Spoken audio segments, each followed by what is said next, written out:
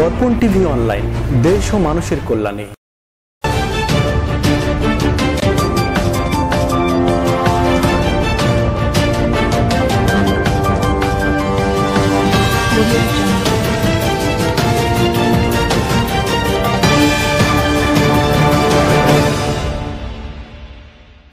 দর্পণ সংবাদে স্বাগত। আপনাদের সাথে আছি আমি জাহাঙ্গীর আলম।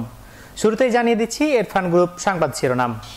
শত ব্যস্ততার মাঝেও রান্নাটা আমি নিজ হাতেই করি। কারণ আমার উপরে আছে আমার পরিবারের আস্থা। ঠিক যেমন এরফান সুপার চিনি গুঁড়া চালের উপর আছে আমার আস্থা। চাঁপানবাবগঞ্জে শিশু শিক্ষা নিকেতনে যেমন খুশি তেমন সাজ প্রতিযোগিতা অনুষ্ঠিত। পবিত্র ঈদে মিলাদুন্নবী উপলক্ষে রাশিক মেয়র লিটনের শুভেচ্ছা বাণী।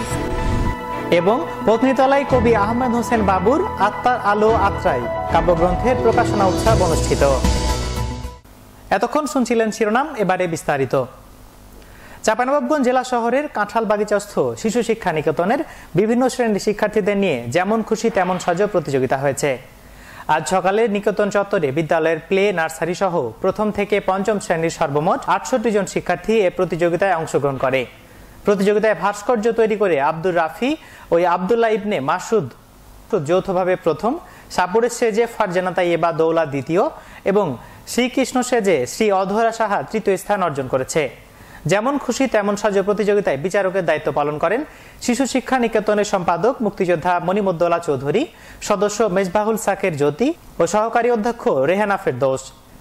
এ সময় আরও উপস্থিত ছিলেন শিশু শিক্ষা নিকেতনের সহসভাপতি শফিকুল আলম ভোতা, বিদ্যালয়ের অধ্যক্ষ মোহাম্মদ আনিসুর রহমান সহ অভিভাবকগণ ও বিভিন্ন শ্রেণির শিক্ষার্থীরা। এছাড়াও প্রতিযোগিতায় অংশ নেওয়া নওরিন সারা, আকিব বিল্লা নাফিসা তাবাসুম এবং সানজিদ আক্তার মিমকে বিশেষ পুরস্কার প্রদান করা হয়।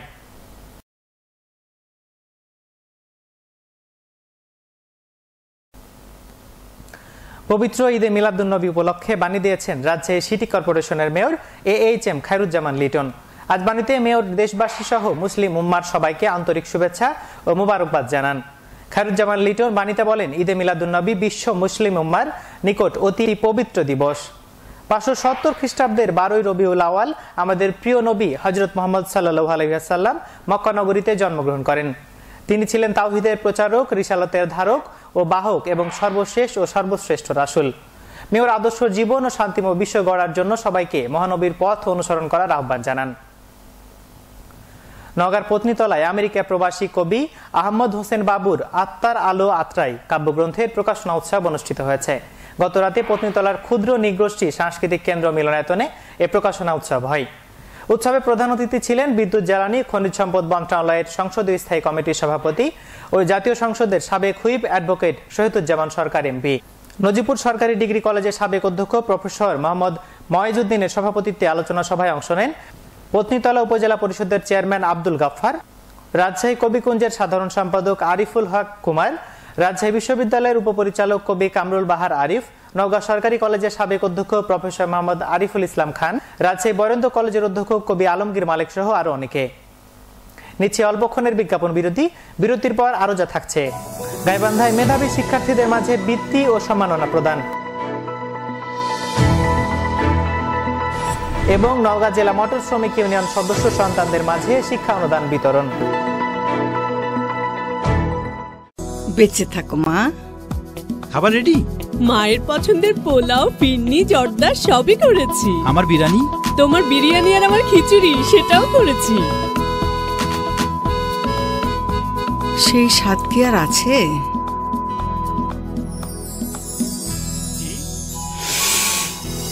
সেই সুগন্ধ ইরফান সুপার চিনি গুঁড়া চাল হ্যাঁ মা।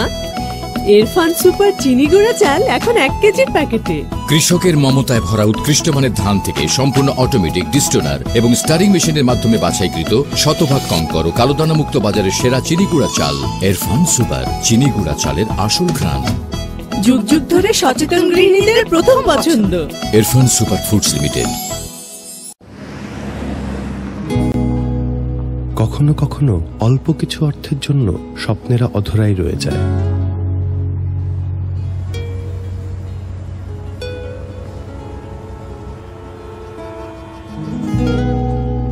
সফলতা আটকে থাকে সামর্থ্যের কাছে।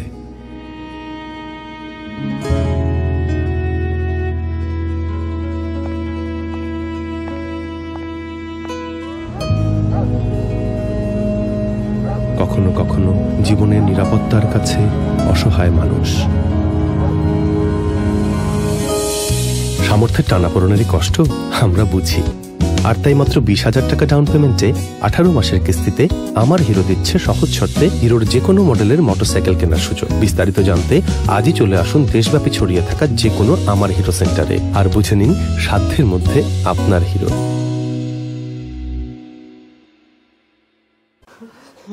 আমরা তো চিকিৎসা করব। তুই সুস্থ হয়ে মাদকাসক্ত, এটি একটি মানসিক রোগ যা চিকিৎসা ও পরিচর্যার মাধ্যমে নিরাময় সম্ভব। মাদকাসক্তিদের জীবনটা স্বপ্নের মতো কিন্তু তাদের সুস্থ রাখার জন্য মাদককে না বলতেই হবে। মাদককে না বলতেই হবে। গাইবান্ধায় দুর্যোগ প্রবণ নদী ভাঙন ও চরাঞ্চলের মেধাবী কৃতি শিক্ষার্থীদের বৃত্তি ও সম্মাননা প্রদান করেছে বেসরকারি উন্নয়ন সংগঠন আশা। আজ স্থানীয় এস কে এস ইন মিলনায়তনে আয়োজিত অনুষ্ঠানে প্রধান অতিথি ছিলেন জাতীয় সংসদের deputy speaker Mohammad Fazle Rabbi Mia MP. এ সময় উন্নয়নের মাঝে বক্তব্য রাখেন বেসরকারি উন্নয়ন সংস্থা আশার উপদেষ্টা ফাইজার রহমান। অনুষ্ঠানে ডেপুটি স্পিকার গাইবান্ধার সাতটি উপজেলার দুর্যোগ প্রবণ, নদী ভাঙন ও চরাঞ্চলের এসএসসি ও এইচএসসি কৃতি শিক্ষার্থীদের হাতে বৃত্তির চেক ও সম্মাননা তুলে দেন।